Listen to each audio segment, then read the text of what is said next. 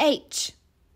Heart. And you shall love the Lord your God with all your heart and with all your soul and with all your mind and with all your strength.